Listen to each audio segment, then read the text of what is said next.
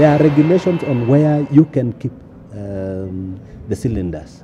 There is a process that is need to be involved in refilling them by the person who is at the industry. But then with the time, because possibly the, the, the inspectors are not able to be there when each and every cylinder is being filled, then people start to flout the, the regulation and slowly uh, standards deteriorate.